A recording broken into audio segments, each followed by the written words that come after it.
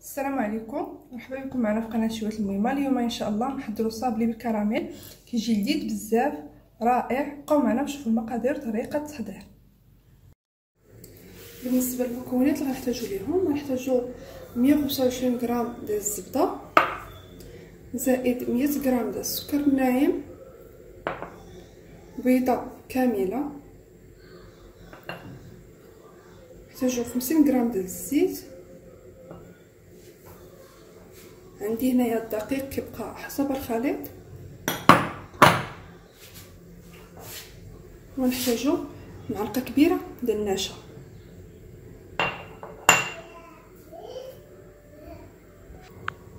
تناخدو الزبدة ديالنا تنوضعوها. والزبدة خصها تكون على درجة حراره المطبخ. نضيفو على السكر الناعم ونخدمهم مع بعضهم مزيان. حتى ينسجموا لينا.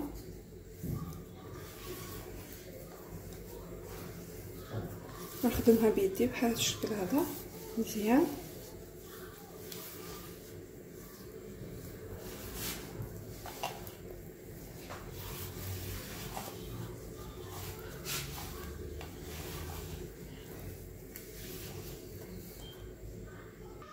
بعد ما كتولي لنا الزبدة على هذا الشكل هذا هاد المرحلة هذه غنضيف الزيت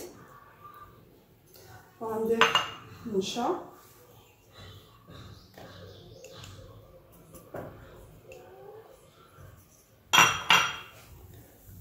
ونخدم هاد المكونات مع بعضهم.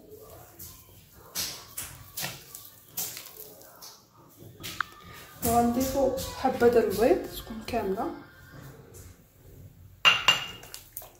بعد ذلك غنبدا نضيف الدقيق شوية بشوية.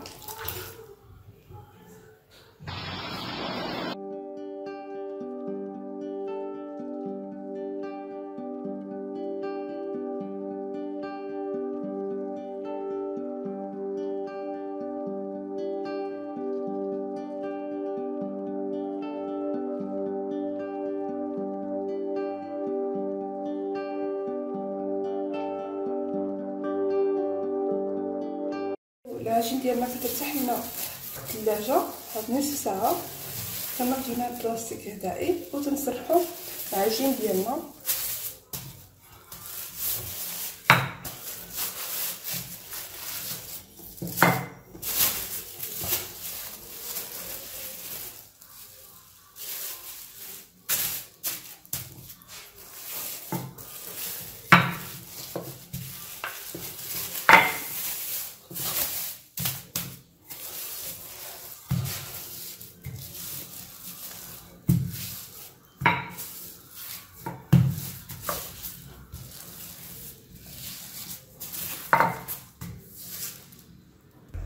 هاي العجين ديالنا بعد ما تنبسطوها. غناخد العجينه ديالي. وغنرش من فوق منها الدقيق على هذا الشكل هذا. من فوق. على هذا الشكل.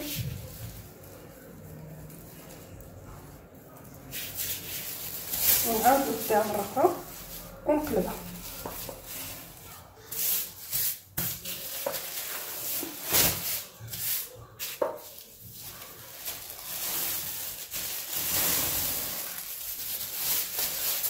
لاحظتوا معايا السمك أنا رققت العجينة. هي رقيقة. ناخذ هاد المول هذا اللي على شكل مستطيل ونبدا نقطع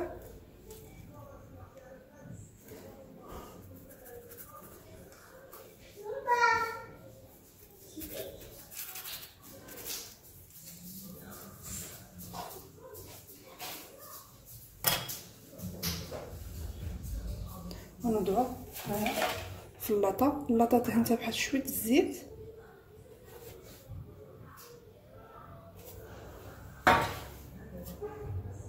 غنستمر بهاد العملية هذه حتى نسالي.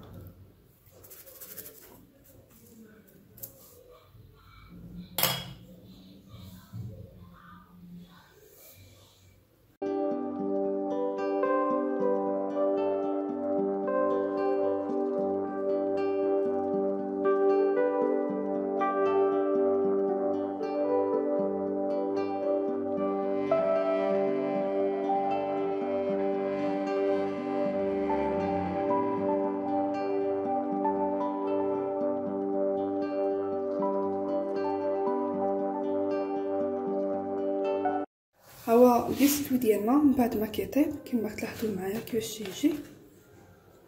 عندي هنايا صوص كراميل غنخلي لكم رابط ديال الفيديو في صندوق الوصف.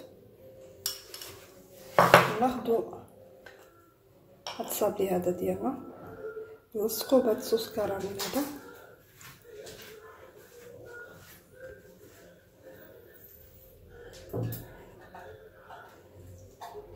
بحال هاد الشكل هذا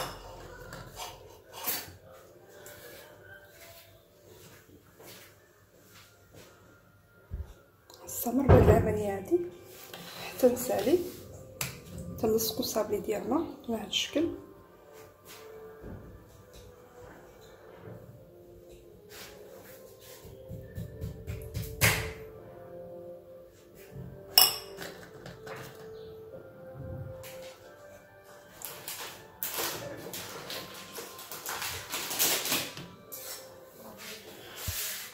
عندي هنايا الشكلاط ذوبتو وغنضيف عليه فول السوداني مهرمش نحطو معاه بهذا الشكل هذا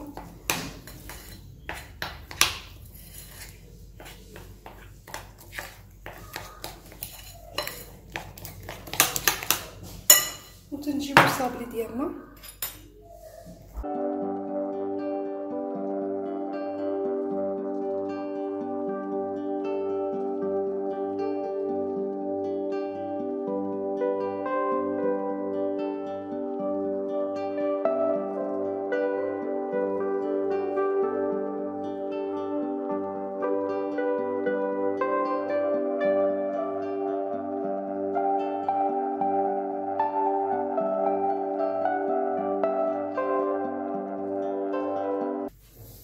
هو الصابلي ديالنا في الشكل ديالو النهائي. يمكن لكم تخليو الصابلي ديالكم على هذا الشكل هذا. ولا ما تطليوه بالشكلاط كيجي الشكل ديالو راقي وكذلك كيجي زوين بزاف. أنا غنفتح لكم واحد الحبة باش تشوفوا من الداخل كيفاش تيجي. هانتوما كيفاش تيجي. تيجي رائع وكيجي لذيذ بزاف.